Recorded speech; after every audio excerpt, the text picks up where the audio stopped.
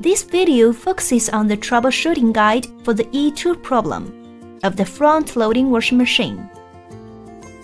Cost summary E2 alarm means that the door switch of washing machine alarms. The reason for this problem is that the front door of the washing machine is not closed properly. Solution First, check whether the front door of the washing machine is closed. Close the front door again.